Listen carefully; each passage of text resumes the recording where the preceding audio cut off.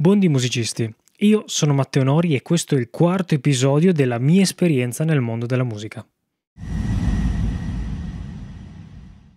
Allora, in questa serie io vado a trattare eh, gli aspetti che caratterizzano di più la vita di un musicista e il percorso musicale in ordine logico e cronologico. Se vi siete persi qualcosa, andatevi a recuperare i precedenti. Non starò a fare una presentazione in quanto lo trovate nel primo, quindi per sapere chi sono, cosa faccio a livello musicale, di cosa un po' mi occupo, eccetera. Andate a vedere il primo episodio di questa serie. Adesso ci dedichiamo totalmente all'argomento del video.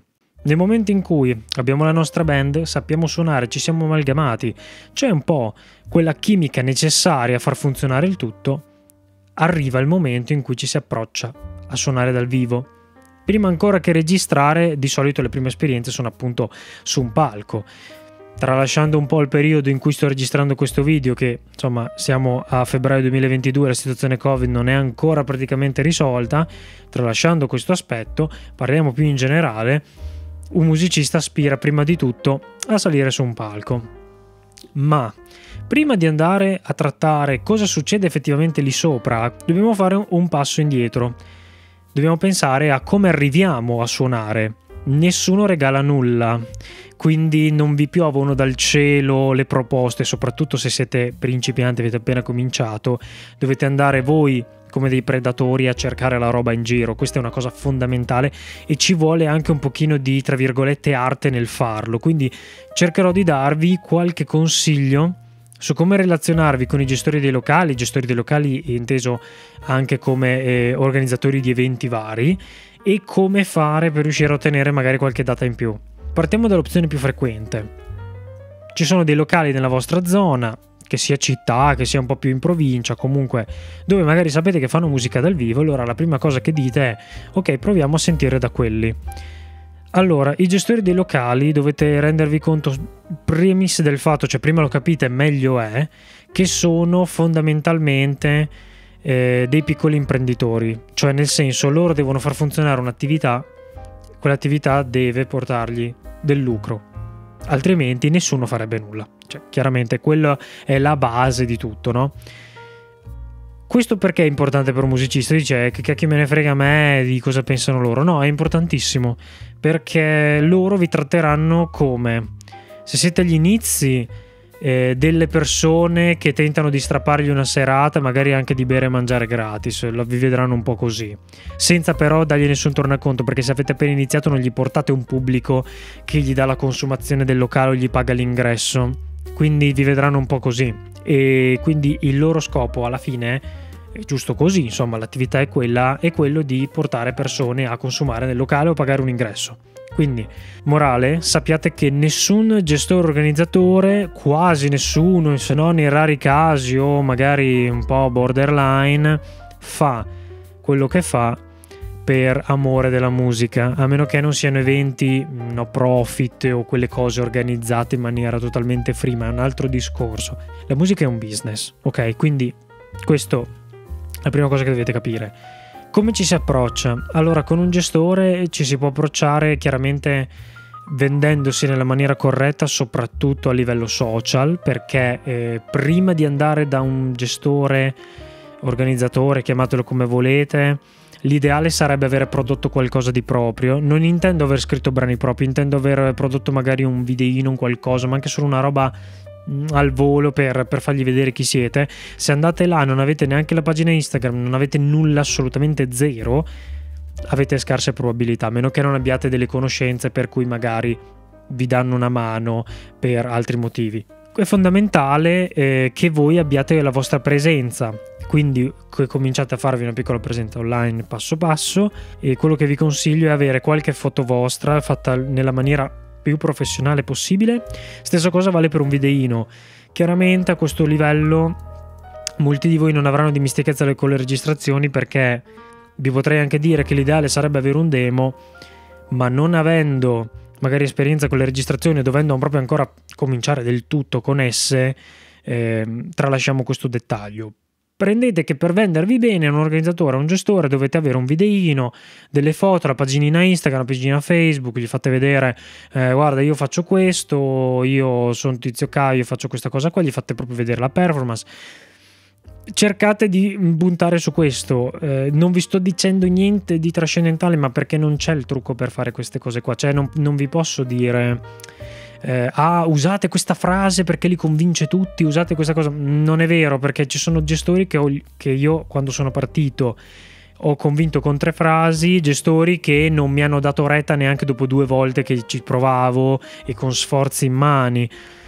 Quindi non, non, c'è la regola per queste cose, ci sono delle cose da sottolineare migliori di altre, però la cosa principale è dargli un prodotto prima di andare in giro a sparpagliarvi tra locali e proposte, fatevi un attimo del materiale e intanto un buonissimo punto di partenza. Con questo già partite avvantaggiate rispetto a tanti che arrivano lì tipo ah io suono, sono il cugino di Tizio Gaio che nessuno l'ha mai visto e quindi il gestore vi guarda e fa ah ok vediamo e poi non vi caga più, non, non vi chiamerà mai più. Successo? Sai quante volte mi è successo? Troppe alla fine il succo è quello di dargli un motivo per chiamarvi. Quindi qual è l'altra cosa? Cercare di trovare i locali che facciano musica o gli eventi che organizzano musica in cui voi siete compatibili. Cioè, non andate nel festival, eh, nella sagra tal dei tali, dove sapete che c'è un pubblico medio che vuole la canzone leggerina, la canzone orecchiabile a suonare del metal. Ok? Cioè, questi sono cose che per tanti sono scontate, però quando i musicisti partono dicono ah, andiamo a suonare ovunque, no aspetta, cioè nel senso va bene, vai a suonare ovunque, nel senso prendi tutte le opportunità che hai perché all'inizio fa tutto brodo, è tutta esperienza, fa tutto cosa, ma, ma che sia coerente, quindi discorso che ti ho fatto adesso, che sia coerente con contesto, col genere, tipo di pubblico. Ok, se il locale è frequentato dal pubblico X, tu non ci metti la musica Y, questo è banale ma non così scontato per tutti. Allora qualcuno a questo punto si potrebbe fare la classica domanda di dire va bene, mi hai spiegato un attimo quali sono le due o tre cose a cui devo stare attento. Poi ogni persona è diversa, l'organizzatore Tizio Caio con cui io mi rapporto è un essere umano, quindi essendo un essere umano ha reazioni, gusti e atteggiamenti differenti, per questo vi dico che non c'è una regola d'oro unica. Uno dice ma come faccio però io a trovare eh, dove sono i locali dove si può suonare? Perché magari non li conosci, magari non ci hai mai fatto caso, ci sei sempre passato davanti ma non hai idea che lì dentro si faccia musica dal vivo, oppure non sai quando, chi e come organizzano gli eventi a livello comunale, a livello... Beh, eh, lì è una cosa molto banale. Apri Google, cerchi nella tua città, barra tua regione, barra tua zona, tua provincia, quello che è, tutti gli eventi che puoi. Tutti gli eventi che puoi significa che se vuoi suonare tu proprio tutti ci devi provare prendendo tutti gli eventi che sono coerenti con ciò che fai, è indispensabile che tu all'inizio faccia più gavetta possibile, più suoni meglio è. All'inizio dico non vale il criterio del vado a suonare per niente e ottengo soltanto il palco. All'inizio bisogna ottenere soltanto il palco perché mm, è fisiologico che quando uno comincia nessuno ti dia credibilità e te la devi guadagnare, te la devi costruire. Arriviamo all'ultimo punto, poi chiudo. Non vi aspettate assolutamente di chiedere un cachet. Cioè, vi assicuro che quando state iniziando, siete ai vostri primi concerti e nessuno sa appena che suonate, non vi azzardate a chiedere dei soldi a un eh, gestore, a un organizzatore come cachet, perché questo qui come vi ha visto si dimentica di voi, perché già ciò succede se non gli chiedete niente. Quindi mai fare l'errore, perché qualcuno magari sentendosi un pochino orgoglioso, un pochino altezzoso, mm, insomma, potrebbe fare l'errore di dire, eh, ma sai, ma perché io devo suonare gratis per Tizio Caio Sempronio non sono gratis perché Tizio Caio Sempronio hanno già la loro esperienza, il loro pubblico, il loro bagaglio, tu ancora no. Quindi è giusto che all'inizio tu faccia un eh, tu scenda di un gradino, eh, il gradino che si chiama umiltà e rimanga un attimo coi piedi per terra. Non lo dico come cosa cattiva per dire no, voi non dovete farvi valere. No, ma all'inizio è giusto così. All'inizio è giusto che non ci sia questa pretesa. Quindi, ricapitolando, pensate che il gestore è come un imprenditore, deve avere un resoconto. Scegliete tanti eventi, suonate il più possibile, ma evitate quelli in cui siete totalmente fuori luogo. Mi è successo, abbiamo fatto scappare dei bambini a volte, meglio non dilungarsi. Terzo, non pensate di essere privilegiati, cose di musicisti come voi ce ne sono tantissimi altri in giro, magari voi avete davvero qualcosa che vale, ma all'inizio il gestore non gliene può fregare niente. È totalmente inutile e all'inizio bisogna solo fare gavetta, gavetta, gavetta. Se vi è piaciuto questo video, se l'avete trovato interessante, lasciatemi un like e se vi interessa eh, sia eh, questa serie che magari altre serie come il backstage o vedere le mie cover, continuare a stare aggiornati, iscrivetevi, attivate la campanella, così vi arrivano pure le notifiche.